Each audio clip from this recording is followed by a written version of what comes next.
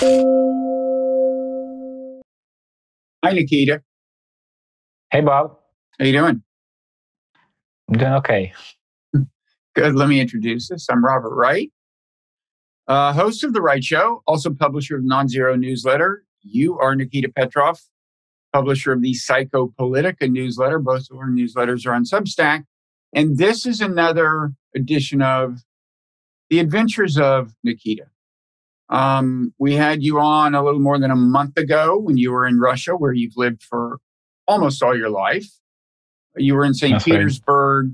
This was right before the invasion of Ukraine, right after the speech of Putin's that a number of people found alarming uh, because he was he's mm, a little more emotional than he sometimes is. The speech uh, struck some people as unhinged. In any event, it seemed to presage a um, an invasion of grander scale than even those of us who expected an, an invasion had anticipated.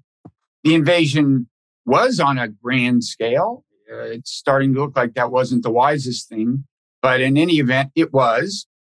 Uh, uh, so immediately there were these sweeping sanctions imposed.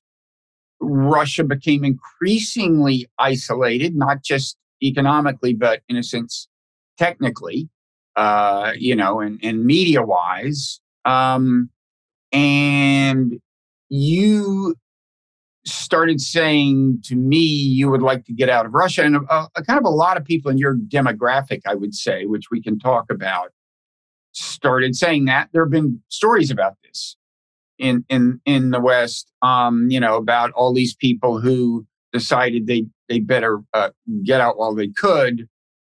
Yeah. Um, you said it was going to be challenging to get out. You weren't sure you could do it. You're traveling with your girlfriend and your dog. I can't imagine that the dog made it easier. Um, so give us an update. Where are you? I'm in Yerevan, Armenia. Uh, it was actually not that difficult to get here. Uh, Armenians are pretty laxed with uh, like dog regulations, uh, but we needed to figure out how to, you know, we needed to get the paperwork ready. We needed to buy tickets. Um, uh, many flights were canceled at first. Uh, we had tickets uh, for a different plane that got canceled because Russia doesn't own many of their planes. Uh, the, the planes are leased, and so when the sanctions were imposed, uh, if the plane that does not belong to uh, a Russian airline company, they're leasing it. If it leaves Russia, then it's going to be arrested. So, like half of the planes, uh, plane uh, flights were canceled just because of that. But we figured it out. We got uh, to Armenia. Russians are allowed to stay in Armenia without a visa virtually endless. As Armenia was it. part of the Soviet Union, right? As part of the Soviet Union and has a good relationship with Russia. There is they have their own military conflict uh, that's in a cold phase right now, but with, that, with was, Azerbaijan.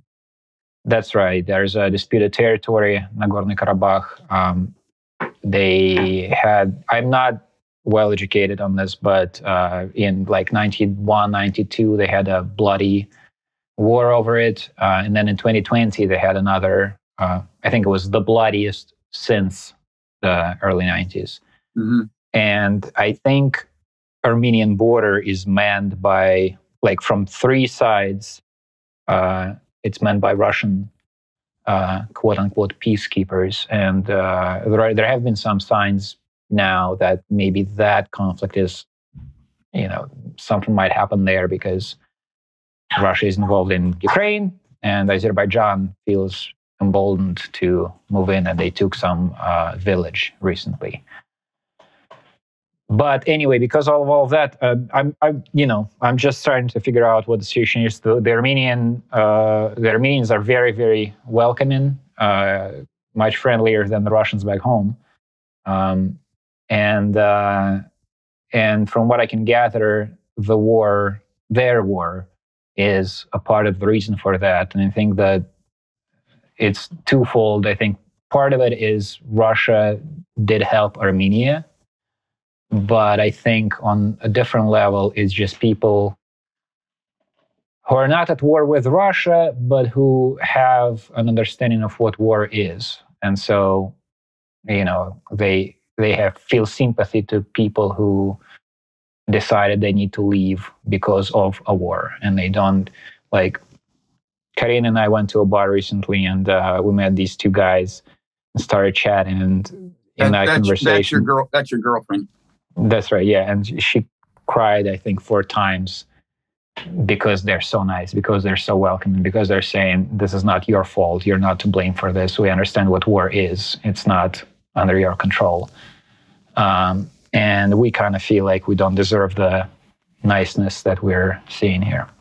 Now, there are three countries that, according to Western media accounts, people like you have been migrating to mainly, I guess, Turkey, um, Armenia, and Georgia. And you told me that your Russian friends who went to Georgia are not necessarily encountering such a sympathetic reaction, right? Yeah, so I haven't been there, so it's all hearsay. Um, there are like specific things you can point to, like occasionally there's a graffiti on the wall that says, you know, Russian swine get out or something. Um, but a graffiti is one person. You know, yeah. it's it it seems more prominent than that, but that's one person. Um, uh, most reports, like firsthand accounts that I uh, see from people that I know are they're not seeing like they're not facing any hostility or anything. People are actually polite, but they feel differently because the country is filled with Ukrainian flags. Uh, you can see that uh, Georgia feels strongly about this, and you know that there was a war between Russia and Georgia. The relationship between the country between two countries is, you know, not a good one. So you feel guilty. Uh, but I haven't heard any. I mean, I've heard like second or third hand accounts of somebody not being able to rent an apartment because they were Russian. Mm-hmm. But even that, again, like I, I get frustrated with Russians who um, who feel like this is oh this is so horrible you know russians are being discriminated against uh, somebody couldn't rent an apartment in georgia. In russia when you're looking to rent an apartment it's very common that you see somebody saying slavs only. That's like everyday reality. So you mean they say it out loud or you see it in print or you see what? it in that was actually uh, you see it in the ad itself. When you're browsing through apartments you mm. might want to rent it's pretty common that you see Slavs only. Uh, I think it's there was I think like last year a few of these uh, platforms, online platforms for renting apartments, decided they're all gonna enforce a new rule saying you're not allowed to put that into an ad. Mm-hmm. And then after that was enacted, the non Slavic users of those platforms started complaining and asking the platforms to reverse the rule because it's easier to see it in the ad and know that you're you don't need to call that person as opposed to calling and then finding hmm. out that you're not allowed. So it's like and the non-Slavs just, just quickly uh, so that would include like Chechens who are that's a part of Russia and and various various non-Slavic Yeah, I think yeah. Yeah, I think the reason that phrase is fairly common in Russia is it's safeguard against um, uh, labor migrants who might rent like maybe one person rents an apartment, but then a whole bunch of them moves in because they don't have money. They need to work at the construction mm-hmm. site somewhere. So it's I, like a landlord would say, "This is what I'm concerned about." But my point is, yeah, so apparently everyone once in a while there is some kind of form of discrimination of that sort. I'm not scandalized by it. I, I understand why that would be happening. And it's from what I can gather, it's not widespread. You mean um, like in Georgia and now right. discrimination right. against Russians? Right. Um, the uh, okay, and how how widespread is the migration? In other words, kind of how many people in your kind of milieu? I mean, you are you know, relative to some West uh, Russians, more Western oriented. You actually spent time in America before I had ever met you, and I should say you do some work for us. And and uh, one current complication is apparently we still haven't figured out a way to get money to you even in Armenia, and yeah. that's a consequence ultimately of the Russian sanctions, I guess, right? Um, well, the, that, uh, yeah, like that. That would be the Western sanctions against Russia more right. than the Russian new laws, though. That, that's what that I mean. I'm sorry, that's well. what I meant. Yeah. The, yeah. the uh, so so your friends were relatively cosmopolitan, young, um, conversant in the use of technologies uh, and social media and and all of that uh, Western stuff. Maybe some of your friends had traveled in Western Europe. I don't know, but how kind of how many of your friends, what percentage of your milieu has left Russia, and and and and are there a lot of them who still aspire to that? It's tens of thousands, maybe more now. Um, like two weeks ago, I think it was I look at the numbers. I think Georgia said there were 20 to 30,000 Russians that came to Georgia, 20 to 30,000 Russians uh, that came to Georgia. So that would be in the course of what, two and a half weeks, three weeks since the beginning mm-hmm. of the war.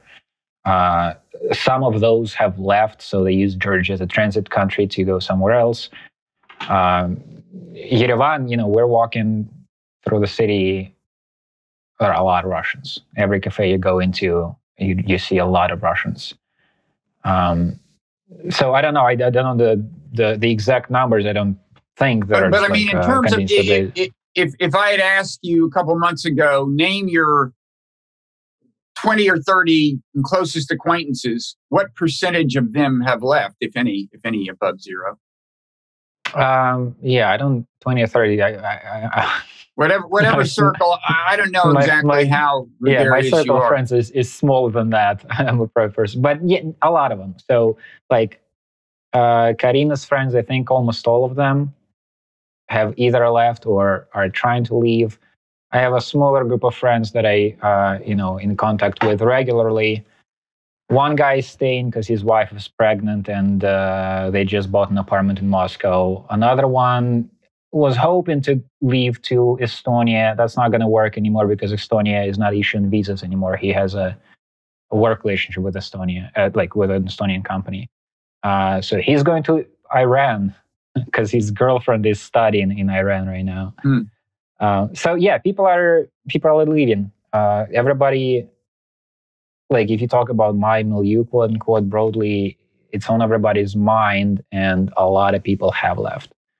And, what is the main motivation? Is it fear of economic collapse? Is it uh, aversion to the growing kind of repression and constraints on speech, uh, constraints on connection with the outside world, or what? There's a lot. So there is the yeah the expectation of an economic collapse. There is the fear that if you're not going to leave now, you might not be not going to be able to leave at all in some recent future. Mm-hmm. Um, there is, like for Karina and me, a major part of it is an emotional component, which is it feels like if you stay, you have to become some kind of a revolutionary. Like you can't just go on with your life and not try to fight the regime. Um, and then that does not sound like a great, uh, you know, you, how are you going to fight the regime? It right. looks like from what we're seeing now is you try to do anything, uh, you're just increasing your chance of going to jail, and those sentences are getting longer. There are mm-hmm. new laws. Um, there's like I don't think I've seen this enacted yet, or rather, like the the long the, the harshest version of this law. I don't think uh, I've seen it at work, but there's a law that gives up to 15 years for public, uh, I think it's like misinformation about the actions of the Russian military. Mm-hmm. And misinformation is anything that doesn't jive with the propaganda and calling the quote unquote special operation a war that's against the law. Hmm.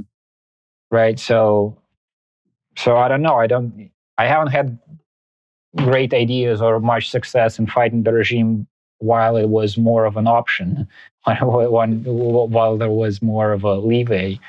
And now um, i don't know.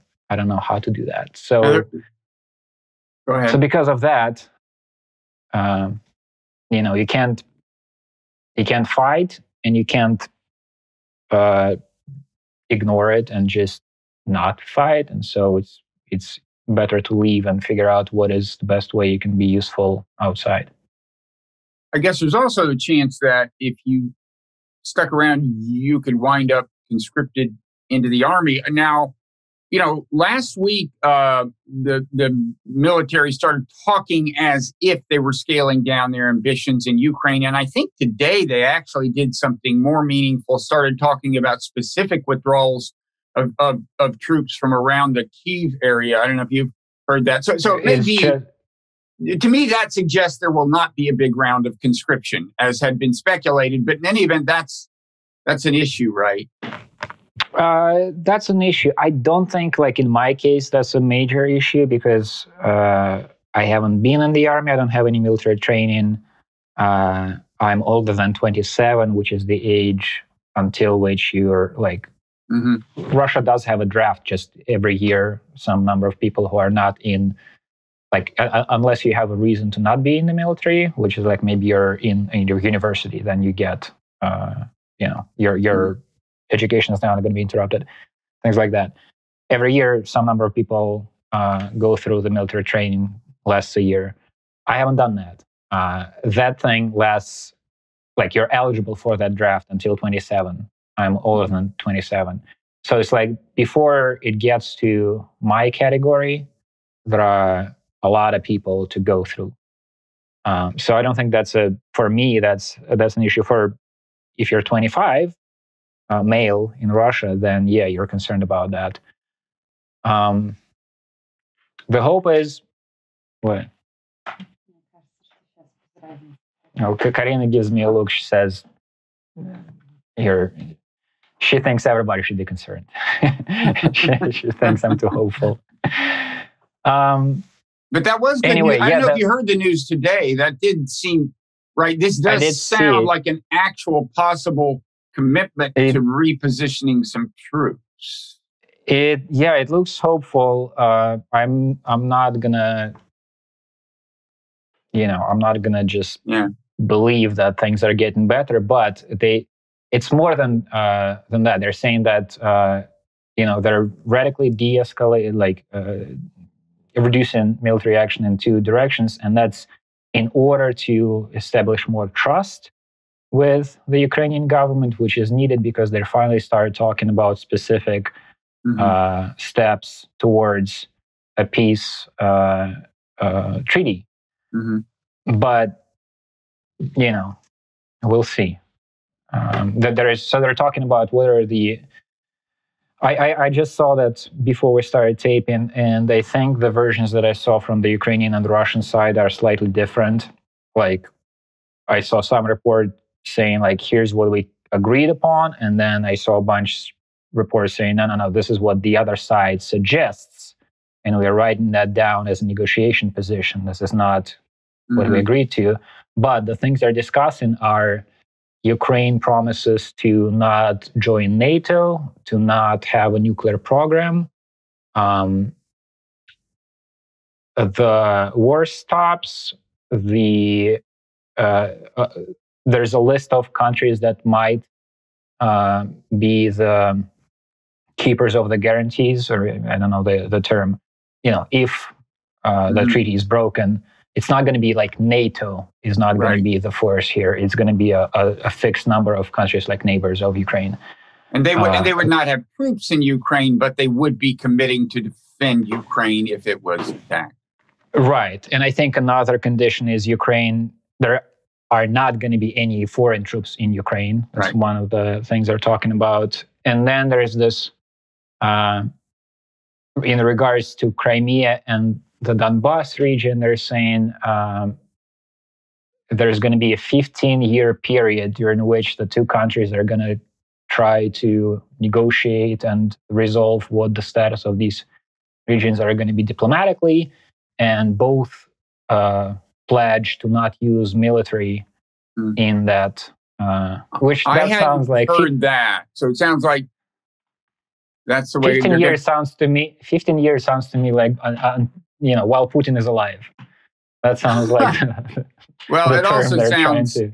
It sounds a little to me like forever. I mean, to me, it also it sounds like it may be a way to finesse the issue of uh, Zelensky having to sell to his people giving away the Donbass, part of which is already effectively not in Ukrainian hands anyway, hasn't been for years. But uh, it, it, sounds to me it's partly a way of solving that political problem. Uh, but who knows? I mean, once once Putin's gone, I suppose various things are possible. At the same time, and this is this is something I want to talk to you about. Um, I, I think Westerners should not underestimate the amount of political resistance Putin might encounter if he gave away the Donbass, right? And, and I, I don't actually know how much that is, but I, I do think that there's a conception in the West that, okay, there's all these people in Russia who kind of know the truth. There are people like you who have been plugged into Western media. They're not buying the propaganda. They don't like the war. And then there's all these old people who, who only listen to kind of state controlled TV. They watch state controlled TV. They're not really on the internet. And because they're victims of the propaganda, they support the war and, and that and that's it. And you know, one one component of this I've become aware of since the war is what what I, these people who kind of remind me a little bit of Trumpists in America, j- just in the in the sense that they are very nationalist, very ethno nationalist, and some of them are aware of what's going on. I, I, I think the the kind of classic case is this uh, Twitter account called Russians with Attitude. These are a couple of guys who don't sound especially old.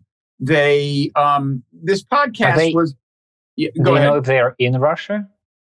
I think they're in Russia.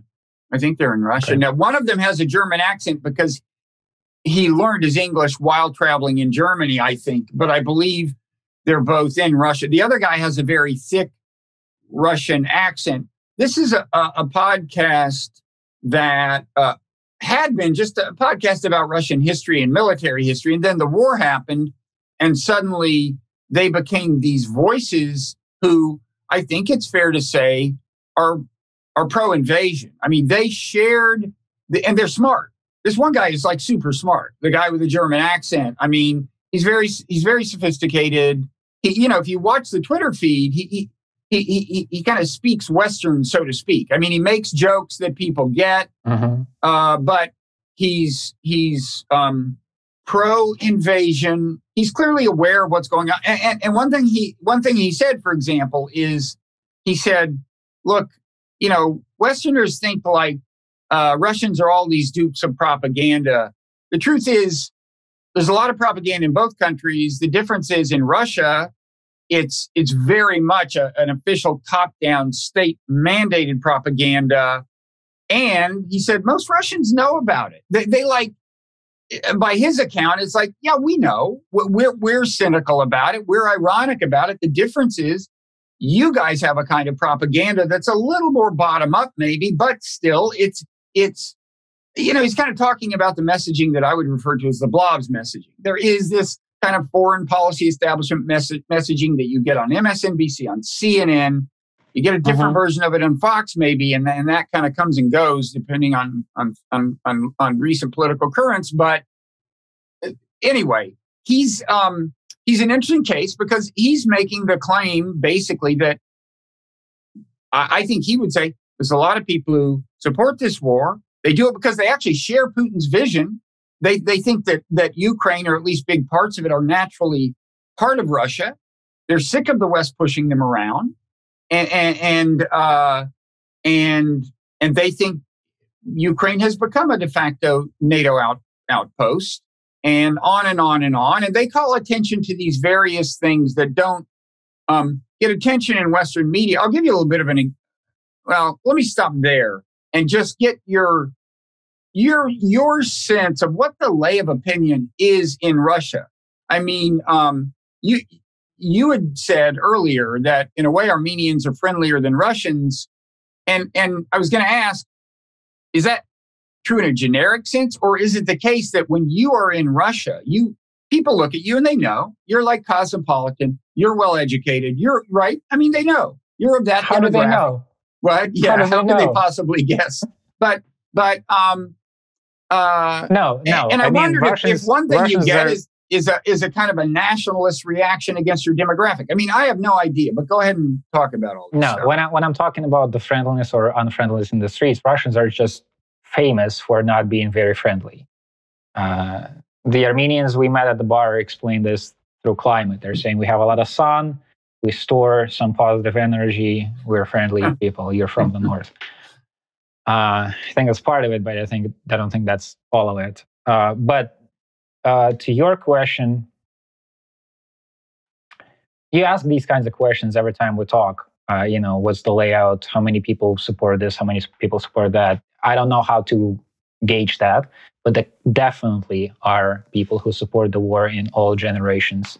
The further, you know, the older the generation, the more the share of people who support it is there are people in our generation. Uh, there are people younger. Um, I think, I think Karina told me about like a friend of a friend whose boyfriend said he's gonna like if this continues, I'm gonna go join the army. I'm gonna volunteer and go fight. Uh, and I think they're younger than us. Um, that's there. One of the a, a part of that emotional component of us deciding to leave was the sense like one of the things that hit the hardest is when you're driving and you're seeing a car that have the Z symbol, which has mm-hmm. become the symbol of the, I don't know, support of the Russian military, I suppose, is what they would say. Uh, the people who put this on, on their cars' windows. Um, but yeah, when you see that, there's a BMW of all mm-hmm. cars uh, with that symbol, uh, and it hits you. There's, you know, these people are there. Uh, they have the state's sanction. You know, they're going to be protected. If there's some kind mm-hmm. of a mm-hmm. conflict, they're going to be protected. Um, and if they knew you, they would not like you, basically. Yeah, I mean, I mean, it depends on. Like, we actually had a conversation. Like the one conversation we had with a random Russian about the war after the war started was with a supporter of the war at a bar, uh, a guy in his 40s who's a member of. Uh, he laughed, or rather, I laughed when he said, like we, have been talking for half an hour or something and he's he's going well i you know i belong to this organization i don't know if you've heard about him he named the organization NOD this is like a national liberation movement. And I haven't heard of them in a while, but they were prominent like 10 years ago. And I laughed when he named it because it to me it's like saying I'm uh, in the Church of Scientology or something. They're really on the fringe of uh, nationalist thought. And I remember you laughed out loud. Up, yeah, and he understood why I'm laughing. He he like when he said it this is this organization like when he understood that understood that i know what the organization is he, we've talked long enough for him to expect mm-hmm. this kind of a reaction from me okay. um, but anyways what i'm saying is he was nice we had a nice conversation uh, it was respectful and polite we don't agree on anything and it was difficult at times to like i don't know how we're going to continue this conversation because i think you're on the side that's really literally evil. There are people dying and you're supporting this. It's hard to like, but we managed. it was a, you know, so it's not like everybody who supports the invasion is going to try to beat me up mm-hmm. or disagreeing with them. But boy, it's, you know, if if we go through this, if if country the country does have a future, there are gonna be uh, these difficult conversations to have between the people who supported and people who didn't. And I don't know how you're gonna that that's not gonna be easy. And is is your sense that this guy basically, you know, knows what's going on in the sense that he doesn't buy Putin's more outlandish claims? And, and I would say, first of all, I think a lot of Westerners don't appreciate that a lot of the things that Putin says that sound crazy, it's more like they're massive exaggerations than fabrications. Like, like one thing you heard a lot in the beginning was neo Nazis, they have a Jewish president. He's hallucinating. Well, no. I mean, there is, you know, this Azov brigade, for example, that's fighting, particularly in Mariupol. They have a neo Nazi history. They have some neo Nazis still in the Azov brigade. You know, there is a history here. Uh, and, you know, when, when he talks about, uh, uh, genocide. Well, yeah, I wouldn't say there's, there's genocide, uh, but that term has come to be used pretty loosely. And I think a couple of things he'd point to are that if you if you look at the uh, kind of ongoing low level civil war in the Donbass, where there's a part that's effectively Russian controlled, there have been more civilian casualties, according to the UN's numbers, kind of way more on the Russian side than on the Ukraine side. They're not huge numbers, but you know, uh, and then there's the fact that yes, there is what you could call um, you know, kind of repression of the use of Russian language. It's more on the books than it is real, maybe. But but there are there are the kinds of things that that often in situations like this in other contexts, leave aside Russia, do get amplified by one party and and described in extreme terms, kind of like genocide. So no, that's not going on uh, genocide, as I understand it, isn't going on. On the other hand, and so on. You can kind of go down the line. It's like, it's like, no, we're not making biological weapons that we're trying to fly over to Russia in birds in hopes of killing Slavs. But it turned out there was a bio, there, there is a biological weapon. Who knew, right? And, and so uh, this is a long digression by way of saying that I, I don't think either side has a completely clear view of things as a rule. But anyway, back to my question of like, how many people are there, do you think, that support the war and are not just propaganda dudes? They, they kind of understand what the actual situation on the ground is. Well, again, it's hard to to gauge that. I think the majority of the people who support it are just going along with whatever the official narrative is. And I think the reason, like, you would need to try to analyze it from a psychological kind of angle why people do that. I think it's most of it, like, if we're talking about the majority, I think it's just you want to support your country. You have been uh, hearing about how we're encircled by enemies. Uh, the the thing they say is, uh, I mean, that's Putin's uh, pitch, right? If we didn't attack, we would have been attacked by NATO through Ukraine. So they're going to repeat that.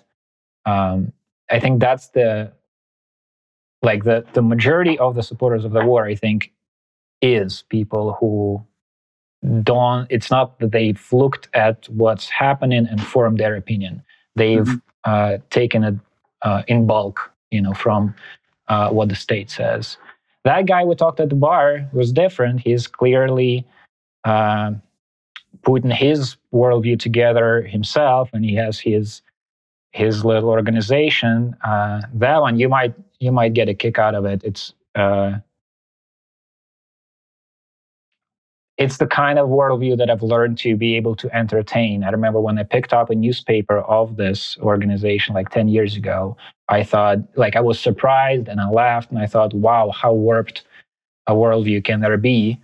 Uh, and then over time, I've learned to kind of see, okay, I can see how you can, can view the, uh, the world this way. So they're, unless they've changed their official kind of stance, um, but that organization thinks that Russia uh, is like a colony of the West. Like the Russian regime has been established by the people who won the Cold War. So it's the, we're we have a colonial government here established so Putin, by wait, Putin is a puppet of the West in this scenario. except for Putin, who is a lone warrior within. oh, the so it's kind of like QAnon.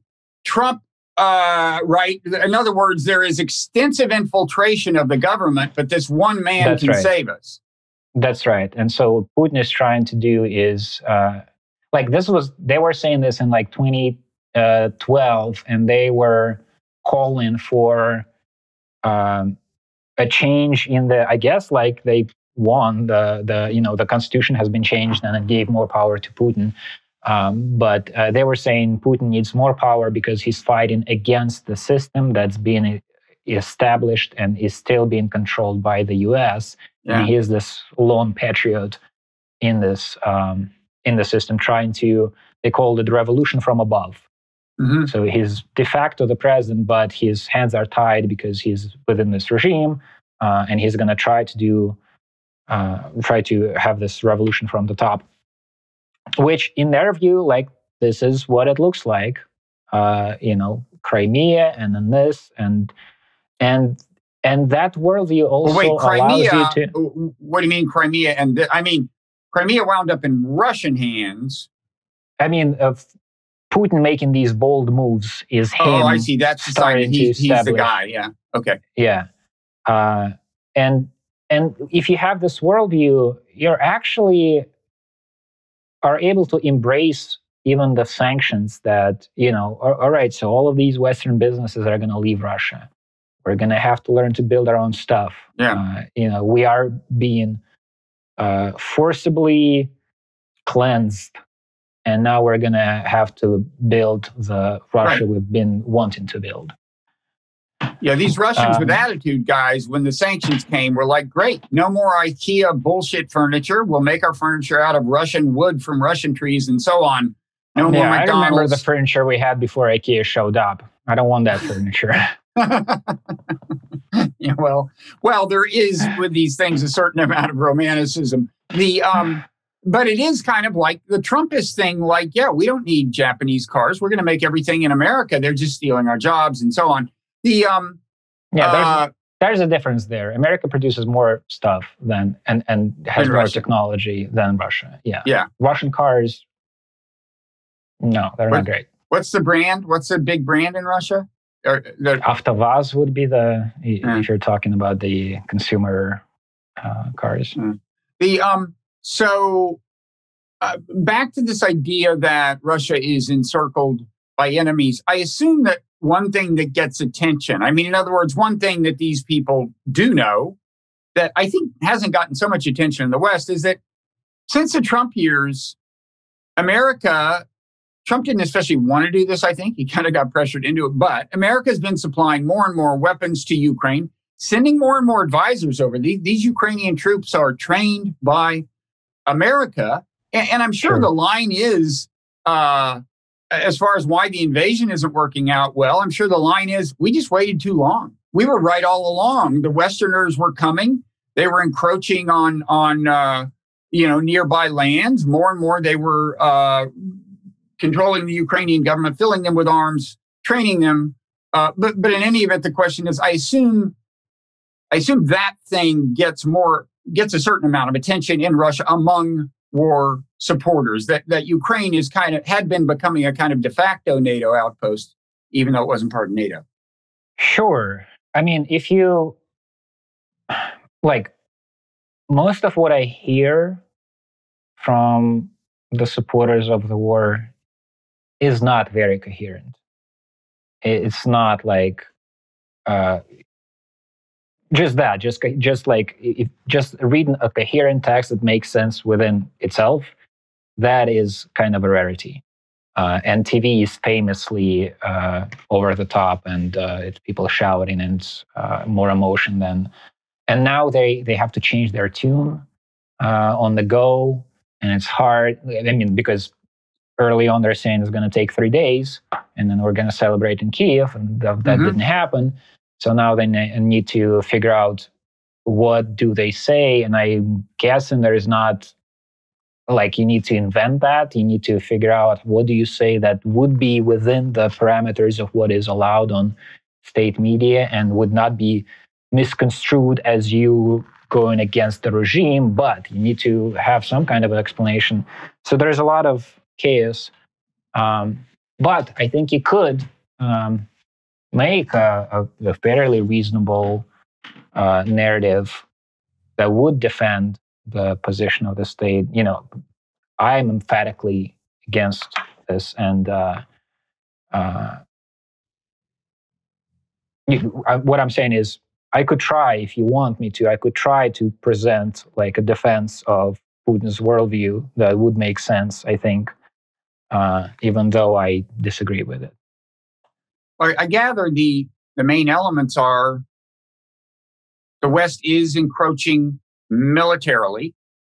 He can kind of make the case for that in a sense. NATO has expanded. As I said, Ukraine has more and more Western weapons uh, and training. The West is encroaching culturally.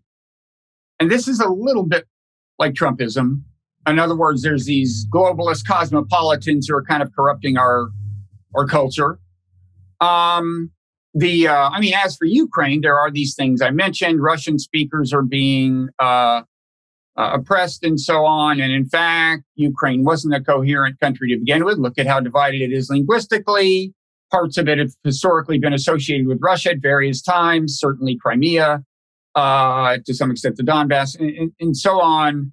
Um, and uh, I assume these are some of the main rhetorical elements of, from of supporters of the war. Am I are, am I missing major things? Right.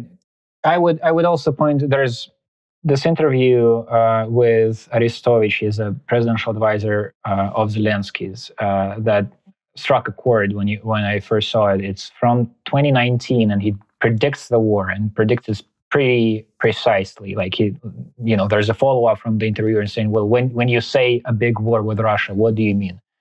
and he describes what is happening now, but he's doing is is in 2019. This is a Ukrainian, you said, who's describing. That's right. That's a presidential advisor to the current uh, president, and uh, he's like giving military briefings daily now. Um, and his explanation of the situation is: listen, Ukraine can't afford being a neutral country. We don't have the resources. It's very expensive to be truly neutral. You need your own army, and it needs to be a strong army. Um, we can't afford that. The choice we have is either we're joining NATO and we're in that camp, or we're going to be subsumed by Russia in 10 to 12 years. Uh, joining NATO means a big war with Russia before we're able to join. Like if, if we're making moves in that direction, if we're given a roadmap for becoming a member of NATO, Russia will attack before uh, that happens, before we're actually a member. Uh, and there's going to be a big war. And those are the choices a big war or becoming part of Russia in 10 to uh, 12 years. Then the interviewer goes, Well, which of these is better? And he says, A big war is better. A big war, which ends in our victory. Doesn't in that interview, he doesn't define what vic- victory means. I assume it's more like a defeat of Russia, like Russia not being able to be victorious, than like an actual uh, like expulsion of the Russian army from the Ukrainian territory. But he phrased it that you know a big war, we win, then we join NATO. So he's saying this in 2019. This is a Ukrainian official. This is how they see the situation. Uh, so we're not talking about true independence of Ukraine as a state. It's like which side they're going to be on in this divide mm-hmm. between two military forces. Mm-hmm. Uh, and so, yeah, Putin decided to move in be- before it's too late. He says, you know, we tried to do it diplomatically. There were these Min- the the Minsk Accord that were not it was not um, enforced which would have given so, uh, autonomy within Ukraine to the two provinces in the in the Donbass. They they might have had effective kind of veto power over Ukraine's aspiration to join NATO, for example. But in right. any event, that didn't really happen. It was one of Putin's demands before the invasion. Uh, I think a, a, restoration of or a compliance with Minsk. But Right. So so that that that's the worldview. Like if you are looking at the situation as there are these two basically empires and they're trying to figure out who's going to have control of this region, who's going to put their military bases in it. Mm-hmm. Um, yeah, for me, it, I guess I need to study and and try to figure out why these empires need to exist at all. Why can't we mind our own business and try to improve the educational system or healthcare or roads instead of you know our territory is not maintained well. Why do we need more? Uh, and i guess the same goes i don't exactly know why america needs military bases all over the world. Uh, but if you're looking at the world through that lens there are these two forces. It's just the logic of the situation is one of them are going to eat ukraine up and putin wants to be the one mm. uh, who does it first because if he doesn't move then then america is going to well what we need is an international network of people who ask the question you're asking is this really necessary you know like uh, i mean on both sides you know is yeah. is it is it so necessary to establish um to have this kind of expansive conception of, of of your influence. I mean, Putin would say, and I think he's right, uh, is like we're the expansive. You know, I think he'd say, look, America is is insisting on having influence very far from its borders. We're insisting on having influence just barely off our borders. Uh, now and then Americans would say, well, we're more powerful, we're more prosperous, whatever. I don't know. It, it's a long argument, but I personally wish that all sides would revisit their premises and and, and ask whether uh, all of this is really necessary. I won't go go go into that, but um, I just heard a new conspiracy theory today, oh, um, and and it's this that the reason the war started from with with an American sanction. Uh, in fact, uh, it's it's it's in the interest of America, and, and Putin is playing a role that he was given. And the point is, during the Trump's presidency, uh, people saw that there's a real danger of a new Cold War between America and China. And that would be really bad because those are really, really powerful mm. countries. Mm-hmm. And so there needs to be somebody to resolve the tension. There needs to be a bad guy Putin's playing the role of the bad guy. Now mm. Europe is going to be united and uh, not worry about China. There's a real evil right here. Uh, he needed to do something so horrible that Europe can't stand uh, uh stand out of the way and, and ignore it. Another part of that plan is America doesn't like the European Union as a economic competitor and so these sanctions, mm. uh, uh, you know, the oil prices rising and just general situation in Europe getting worse would also damage uh, the European Union. And so this is all master planned by the US. Uh, and Putin is just playing a role that he was given in this theater. So he's in this conspiracy theory, he is a knowing participant in the conspiracy? Yeah. Yeah. Okay. I I've, I've heard that, you know, I, I, I haven't listened to the guy explain. This guy, like, he used to be on Russian TV all the time. Uh, I don't think he's anymore. But I, I guess the reason I'm bringing it up is like, like you have this thing where you ask about actual facts or uh, you know how the, the situation can be viewed and how the Russian propaganda machine is using it. Like you can take these disparate facts and put them together, exaggerate some, and then it makes sense sort of from the you know the point of view like you can present this narrative the russian propaganda mm-hmm. can present this narrative and uh, yeah but if you control all the media in your country does it matter much how uh, close to reality your propaganda narrative is you know you're you're going to have a different set of facts you're going to uh, throw them around a little differently if you, you, you still have the goal, we are in the right, they're in the wrong. Uh, praise the leader. You can do that. Like you can get to that result with yeah. whatever reality throws. I want to ask you about that, the media landscape. I mean, my immediate reply is like these Russians with attitude guys.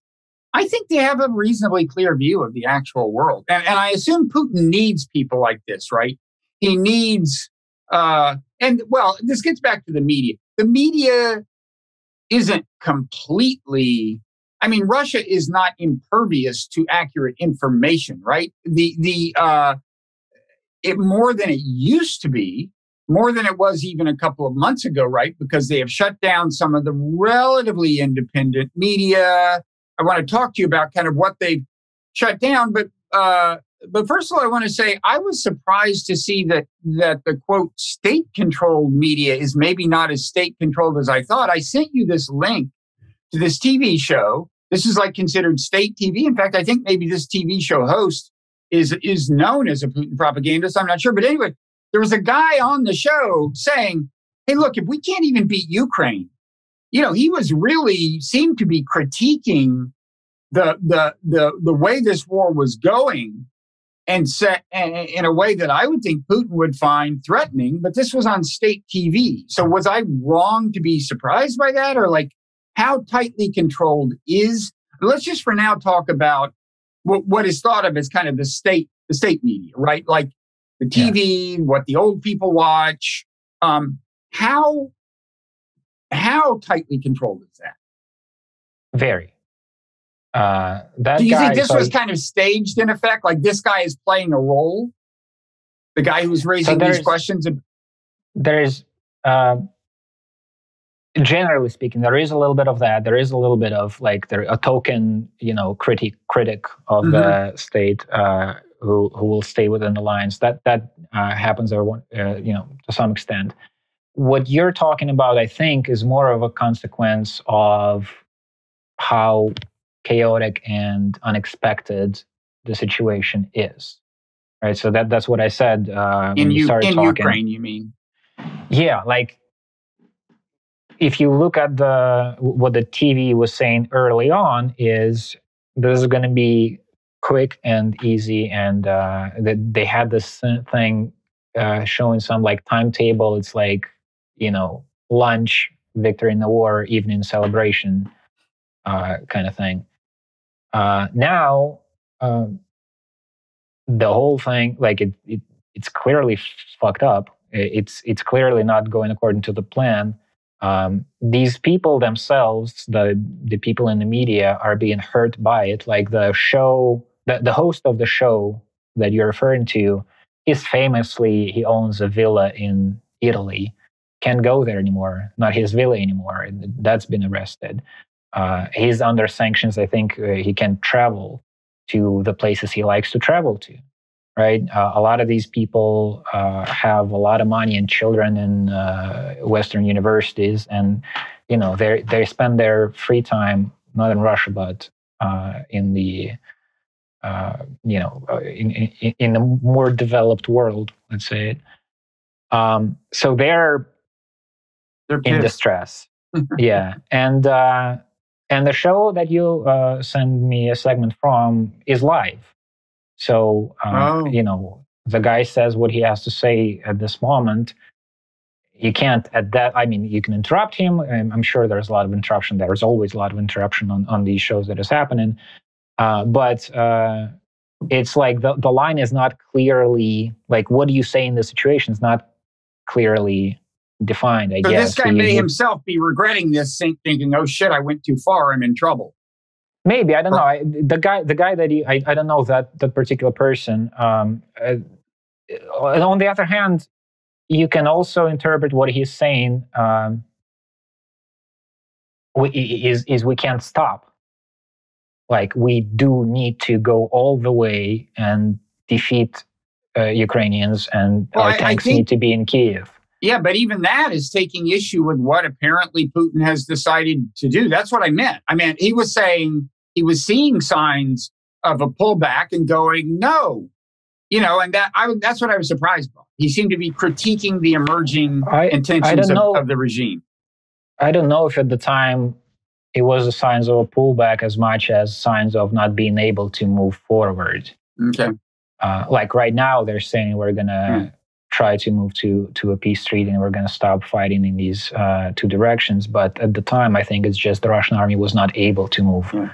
Well, what I thought was maybe his role is to create political space for Putin to say, look, it's going to be a long, hard slog, but we're not giving up, right? In other words, that was my conspiracy theory. Like that's that's his role in in the in the puppet Yeah, show. But, I, I don't. I don't think it's. I don't think it's that precisely. Like Mhm. you have 24 hours in a day to pretty much talk non nonstop about Ukraine, uh, and you need mostly to create this emotional background of uh, people being on the edge and uh, you know people being in a war uh, mood. Uh, and so every particular utterance is not so important. Uh, you need the the general ambience. So th- this was seized on in the West. That's why I was aware of it. But it was just a tiny.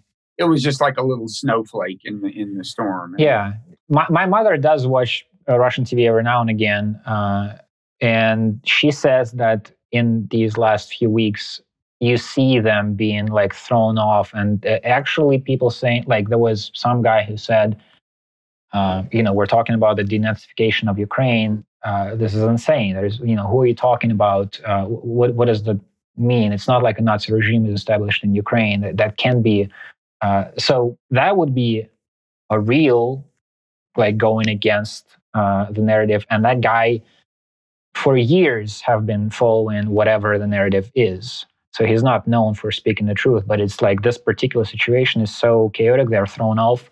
Uh, you know every particular guy is making decisions on the spot what's gonna what, what he's gonna say at you know on this taping or mostly we're talking about um, live shows Is there any sense that maybe Putin will not be able to hold on to power?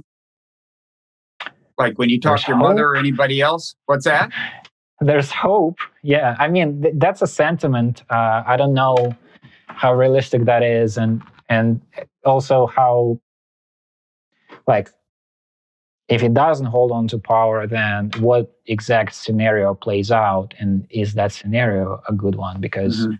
Simply removing putin does not mean good things start happening um, but there's talk about it for sure uh, just recently there was uh, an official statement from uh, the government. I forget who it was. It, I, f- I forget the official, uh, but somebody very high up uh, said that the talks about the possible coup are nonsense and none of that is happening. Which the prevalent wisdom is if the Russian government says this is clearly not happening, means it is maybe happening. Uh, so you know, it's the rumors and the, the speculations are uh, present enough for the government itself to comment on it. So Yeah. yeah, people talk about it. It must be very unclear who would take over if not Putin, because it sounds like there is a very small circle of trusted advisors, and they're all kind of part of the problem. I mean, the defense minister is one of his most trusted advisors. He clearly didn't have a clue. Uh, well, he's not. There is a whole thing about him. Like uh, he's not very present in the media. Hasn't been for a few weeks. And then And he did show up in this tape, and and and by one account on the BBC, but I didn't see this confirmed anywhere. By one account, he was kind of slurring his words. I think that must have been wrong. I didn't see that anywhere else. Uh, you didn't hear that. that, right? Okay. know. So um, the But so uh, that like the, the the fact that he's he's not in the picture that can be interpreted in different ways. It could be that Putin is unhappy because he also Putin put some people from the FSB under house arrest. Uh, apparently FSB, the part of the FSB that's uh, dealing with foreign. And, and the. FSB is the successor to the KGB. So it's an intelligence agency. And these were the ones who dealt with intelligence about, for example, Ukraine. And they That's were right. apparently put in house arrest. Seemed weird to me because normally when you want to scapegoat, if you just want to scapegoat them and blame them, you, you know, you fire them. It- when you put them under house arrest, I'm wondering, do you consider them a threat? Are you thinking they've been leaking stories to Western media or something? Why- It seemed weird. The way it was interpreted in in the Russian independent media is uh, he's genuinely pissed with the level of intelligence he was getting. Yeah. Like he thought we're going to be, Russians are going to be met as liberators. And there is, like, he bought some part of his propaganda. And then turns out it's not a, a tiny, uh, you know, group of Nazis at the top of the government who the people hate. Turns out uh, actually the country doesn't want you here. Um, so that that was an interpretation that I saw in, in Russian. Media. And I think that's become truer, that thing about sentiment in Ukraine over the last decade. And I think he just lost touch. I, I, that's what I've heard is that, especially since 2014, there's been kind of a shift in that direction and you know, he's an he's he's an older guy. He's older than me. Uh, people tend not to adjust their worldviews a lot. He hasn't been there, and I think he's thinking back to 10, 20, 30 years ago. You know, he he did his honeymoon in Ukraine. You know. Mm-hmm. Uh, he famously, uh, he, he, he would say, he used to say with some amount of pride that he doesn't use the internet. He doesn't have time to right. watch TV. He gets his information in these folders and there's a signature at the bottom of each document. So if the information he is given turns out to be incorrect, he can hold to account the person who was who brought the information. This I'm old school. I'm not I'm not yeah. getting my news from the internet. I'm getting my yeah. news from people who, whose job it is to give me the news. Well, it turns out these people weren't very good at their job. Or they were or they were afraid not to give him what he wanted to hear or some combination. Right, right, right. The the um so back to the media um, and how free it is or isn't. Now, in addition to what's thought of as state control, there have been these relatively independent outlets. Now, I, now these these uh, well, anyway, like like one of them, uh, Novaya Gazeta, just suspended operations. They said they'd gotten two warnings from the government. The third warning, and you're out. And they'd rather suspend operations than be put out of commission for because I guess it's easier to get revived that way uh, if you just suspend. But so so how how how free were they, and how free were these uh, TV stations that were shut down, or or whether it was technically voluntary or not, I didn't know. But right after the invasion. Um, there were several so-called liberal outlets on radio or TV. There's Novaya Gazeta, which I gather is a kind of a print and internet thing. How how how independent yeah, were they? Uh, unless you go into a conspiratorial kind of mode, they were independent. Uh, it's just small, you know, Novaya Gazeta is not read widely. It, it is a, an old independent uh, newspaper. The uh, chief of what do you call him? Editor in chief got uh-huh. the Nobel Peace Prize recently. Right. Um, are they on the internet as well as being in physical print? They are, yeah, but they're not. Uh, they're not very popular. Um, by by my estimation. Uh, there, the, there's a radio station, uh, Echo of Moscow, that uh, also was banned now. They've been in operation. I want to say since before the fall of the Soviet Union, or right after. Maybe they they established, but like early '90s, and this is the first time they're they're not on air. Um, they uh, there are different ways that people look at them, how independent they really are, but they clearly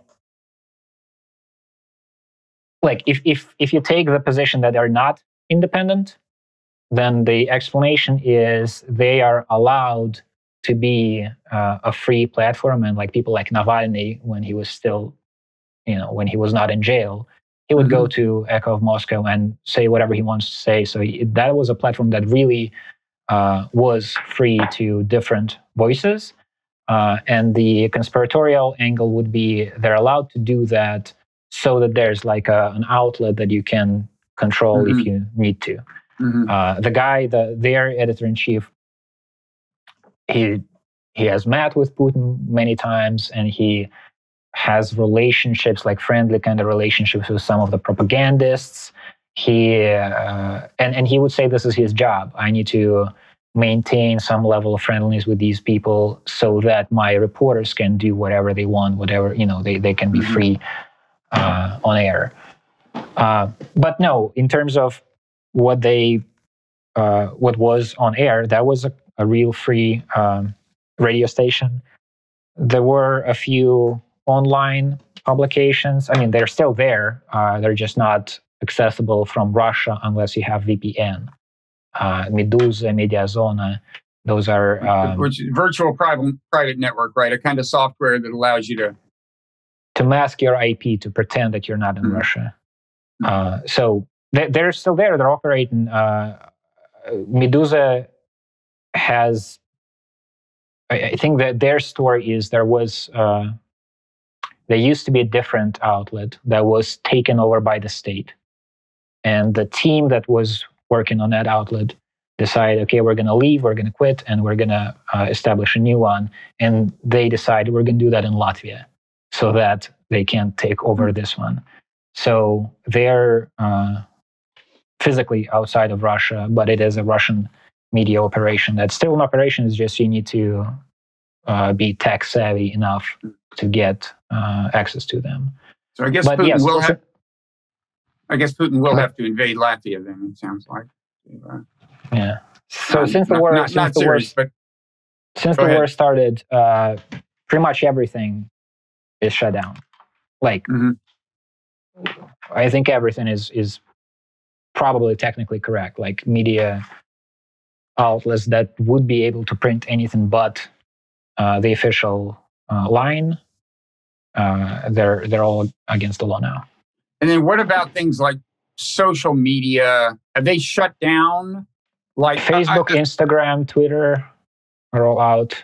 And was that uh, the Russian government doing it, or in some cases, did I, I forget how it happened? Did face did, did, some of these companies say, "Well, we're getting out," or uh, in a way, I guess no, no, no, matter. no. That's that's the Russian government. That's uh, I think. I'm not sure if it's in all cases.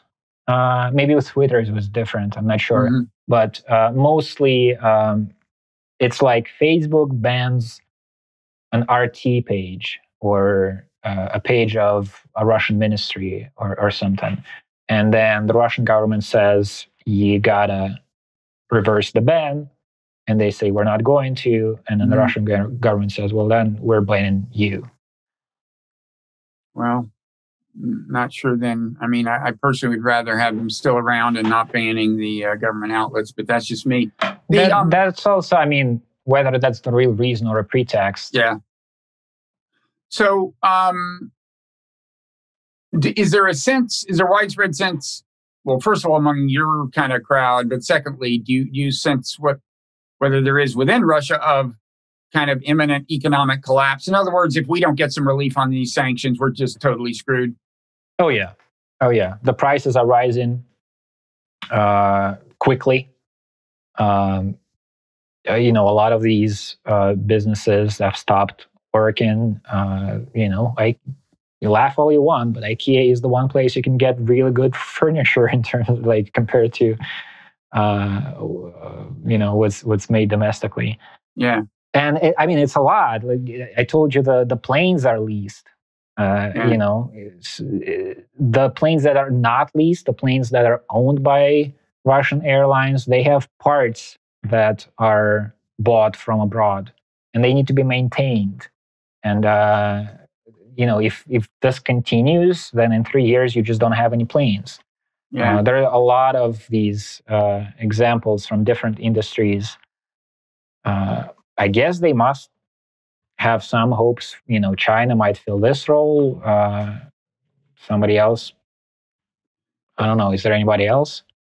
That, that was still well, India. There's a number of countries that haven't really condemned the invasion. Brazil, India. Yeah. I would think India and China are the two big possible lifelines. So yeah, China. They, maybe uh, they can readjust, but it's not going to be the same. Yeah, it's going to be like uh, you know a few steps back to the Soviet Union. It's not like we have to have good cars and good furniture and fly right. around in those planes, you know. But if there's inflation, serious inflation already, I've got to think that that is part of the pressure that's leading to the repositioning of uh, the, the, troops themselves. I, I mean, the, the, the seemingly yeah. increasing amenability of the Russian government to peace talks. I've got to think he's starting yeah. to feel political pressure to get some of the sanctions relieved. I think so. I think the, the old line is there's a battle between the TV and the fridge in Russia, right? So the TV is giving you the propaganda and it's winning until you have something in the fridge. Uh, when you don't have food, maybe you're going to stop buying, you're, you're going to stop Mm. supporting the, uh, You- the people in power you can't that made eat it so. propaganda. Yeah. Um, so do you think uh, kind of you and or your your crowd, do you imagine going back to Russia while Putin is still in power ever? Not in my plans. Uh, the crowd more broadly, uh, people have different takes on it. Some some are planning or hoping at some point. Um, I I mean I, we don't have long term planning. Uh, we're trying to figure out how you know how can I get paid so that we uh, can continue just our, our life for now. Um, I don't know, but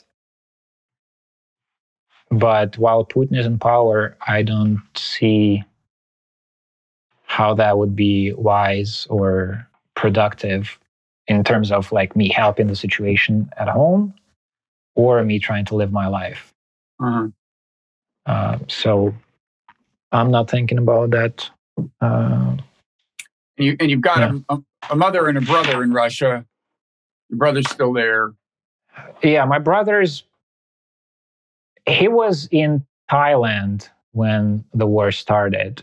And as I was trying to get out of Russia, he's like, I think I'm going to go back to Russia. I'm not totally sure why. He actually had reasons, like he has a dog and he needs to like deal with some, you know, property and stuff. Uh, so his plan is, is he, he wants to just deal with his shit that needs to be taken care of in Russia and then leave again. My Mhm. mother is still there.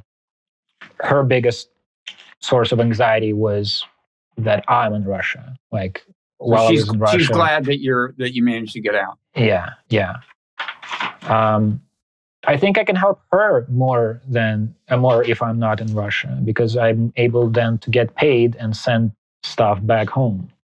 Uh, yeah, I mean, my particular situation is in the last what seven years or something. I've been working with Americans. That's not Mhm. allowed anymore.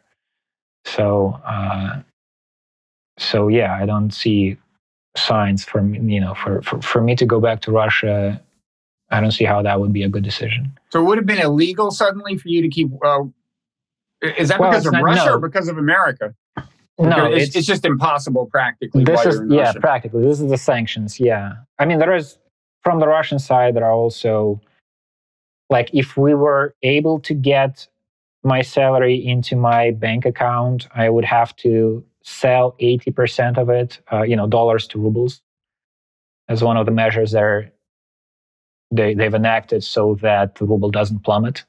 I They actually have been have been surprisingly successful at that. I mean, ru- ruble started falling down. It used to be like 75 rubles per dollar. At one point, it was 130, uh, and that's you know in a short time span. But now it's like 87 right now. I'm looking at it. Surprisingly, they, from all accounts that I hear, the people like the economic part, the people in the central bank, Mhm. are professionals and they know what they're doing Yeah. and uh, and I think the woman in in charge, the, the head of the central bank, tried to resign after the war started, and uh, she was not allowed to. Well, they are demanding that uh, countries that have criticized the invasion pay for oil and gas in rubles. I don't know how that's working out. And it sounds like, from what you've said, they're demanding that if you bring foreign currency into the country, you you have to convert most of it into rubles right away. And that that. that's what I'm saying. Okay. Yeah, So, yeah. what were you going to say before I just interrupted you? Were you? Uh, I forget now, but answering your question, like my particular situation, from two sides, you're, you know, the the American sanctions don't allow for money to be transferred into my account at all, and then if that would be solved, then I need to sell 80% of that into rubles. Um, and uh, generally, like in, in today's climate, working with Americans on some kind of a media operation, that doesn't sound like a patriot. That sounds like a traitor to me. You know, You mean so? You mean if you were in Russia, you would be considered that? Yeah, there, I mean, there's not like. So if you Well, kept example, working with be able- us, which you've been doing, I mean, you've been working with me and and with the Glenn Show, which has been on the kind of Bloggingheads network, which we I kind of run and so on. But but are you saying that that that uh, that's just not tenable to to have a job that's described that way in Russia? Yeah, I, I mean, it's not like technically right as of today. I'm not breaking laws, but the way things are going, uh, that just doesn't look good on you. Uh, I certainly wouldn't be able to talk to you like I'm talking Mm. right now about what's happening in Russia. I would be like I am breaking Mm. Russian laws. I keep saying there's a war in Ukraine. I can go to jail for that theoretically. I don't think Mm. people have gone to jail for that uh, until now. They have been fined uh, or like uh, you know if you're protesting people have gotten like small sentences like a few days but i think theoretically with the current laws that are on the books i could be going to jail for years for talking to you right now about the war the way i'm talking about it Hmm. so yeah that doesn't sound good to me Well, the good news for you is that when I try to present Putin's perspective and argue that maybe NATO expansion has played a role in antagonism, antagonizing I do get accused of being a Putin apologist. So, could be that your your relationship with me could be your ticket to power in Russia. Who knows? right i'm a very subtle russian propaganda outlet This is all part of my plan, which which I've been uh, yeah hatching in collaboration with people I can't mention who are in Moscow. Um, I'm I'm kidding. The uh, so what is there anything else you want to say? I, this is pretty much. Um, I, I I guess you know the. Uh, let me say one more thing. It makes me kind of sad to think of kind of your crowd as leaving in mass, just because there are a lot of talented, well-educated, creative people we're talking about, and kind of if you think about the long-term future of Russia, I mean, I totally understand why you left. But if you think about the long term, if there's a post Putin future where things are a little more liberal, uh, you know, Russia will be poorer for having lost this. Well, this so so I've been thinking about this in in the following terms. I think a lot will depend in terms of the future of Russia uh, and the future relationships between Russia and Ukraine, like the people of Russia and the people of Ukraine, and just anything that you know involves Russia. I think a lot of will depend on what happens uh, with these people who left. It could be just a wave of immigration and people will integrate into different countries and that be it. It could be that we are able to form a community that is capable of productive work on behalf of Russia, Ukraine, you know, just like organize and figure out how to send money to Ukraine to people who are actually suffering now. Like, you know, I, I feel kind of guilty. Like you're asking me, uh, am I okay? Is there anti-Russian sentiment in Georgia? There are people who are dying. There are people who are in basements hiding from bombs.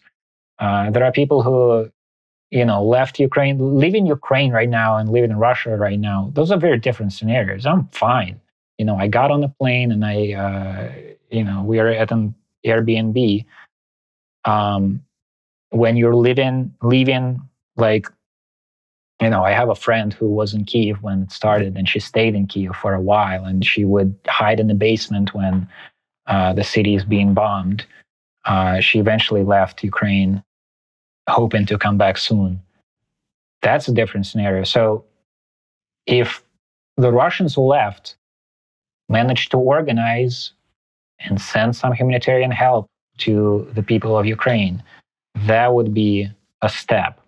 And if we make a few of these steps, we might be able to, you know, uh, the right Russian economists working in, in the UK now who are smart, who could draft a system of a, a program of reform for post Putin Russia, right? There are, you, you can do a lot of work.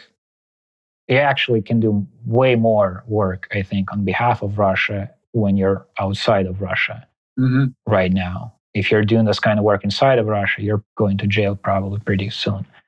So we'll see. Uh, I, I, I, I can't say that I'm hopeful about the overall situation. Uh, you know, the Ukrainians have already suffered enormously, and I hope that a ceasefire is going to happen soon, and and, and peace treaties will, uh, peace talks will actually lead to something. But it's not going to happen tomorrow. In terms of Russia, um, you know, I can always imagine. You, you, can always imagine a rosy future. How uh, you know the, the, Putin regime falls, and and beautiful people uh, with a lot of talent come in and, and solve it. I don't think it's going to be easy. You know, even if Putin leaves, like there are many, many problems within the country. There are some problems that are like Chechnya is there. The head of Chechnya is a gangster who has total reign over that territory, and he was given that by Putin. If there's a you know a liberal democratic president, what are you going to do with Chechnya? Are you going to have another war with it? Are you going to allow it to continue the way it is? Because then there's no law on your land still. Uh, or what? How, how, are you going to negotiate with Kadyrov? Yeah. So there are a lot of these like ways it can um, can go poorly. You can imagine just uh, it's it's not hard to imagine just a repetition of what happened with the Soviet Union. You know, the regime does become weaker and then it falls apart, and then the country falls apart as well. Mm-hmm. Um, in which yeah. case, so in, anyway, if, if the situation in Russia changes to something, either to something positive or to something just less uh, predictable and, and more people are able to play their part, well, then whether we've used the Russians who've left, used the time before this change productively will mean something. It will matter. Mm-hmm. Uh, or, I mean, productively in terms of like collective action and uh, preparing for doing something in Russia, uh, as opposed to productively in terms of building your own life, your own life in a foreign country. Mm-hmm. Okay, well, um, I I applaud that spirit, uh, and uh, thanks for taking the time. Nothing else you want to say? I don't think so. I mean, yeah, I don't think so. I've I've been in a. I, I feel like I need to be trying to say things, but at the same time, I feel like, you know, what am I? What am I to say? Um, I'm just hoping that that the war is going to be over soon. Well, the good news is there have been relatively encouraging signs over the last week and even today. So uh, we'll see. Meanwhile, people can find your work at Psychopolitica newsletter, P S Y C H O P O L I T I C A, right? Substack. Yeah. And your Twitter handle is what? Uh, Nikita S. Petrov, one word. P R O V. Uh, mine is Robert Wrighter. And we'll uh, probably check in down the road. Um, Sounds good. Glad you got out. See you around. Yeah. Bye. Bye.